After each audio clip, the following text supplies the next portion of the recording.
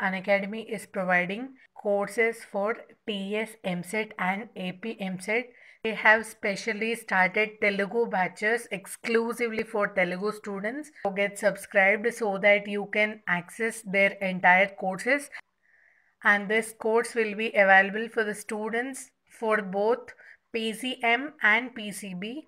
And uh, here is the schedule clearly, and there'll be separate doubt clearing session as well. So to this entire slide, and uh, there are also other similar batches uh, comprehensive batches and etc etc so just go through all these slides students if you are Unacademy plus subscriber you will have multiple benefits you, you can access premium content at affordable prices. You can attend regular quizzes for your self analysis and you can also attend full length mock tests